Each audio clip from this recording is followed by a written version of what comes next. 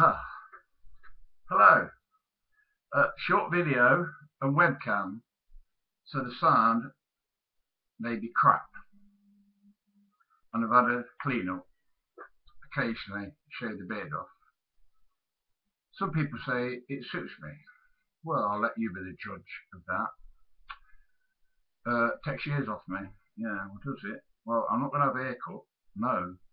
I think if you're lucky enough to have hair, then at this time of the year you should keep it long. It, it, it, it, it, it keeps your head warm. My son-in-law said yesterday, why do you occasionally stutter? I said, I don't know. Uh, I, I, know what I want to say, but it won't come out. So anyway, just a short video because I know the sound's going to be fucking rubbish because uh, the webcam. It's not the HD, so we'll see. Uh, there's nothing else to report. Mold day here here at the court.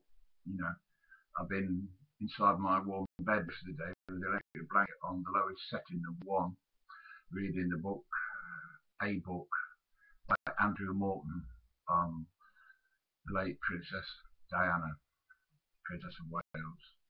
But I've not eaten for over eight hours, and I shouldn't go that long without eating.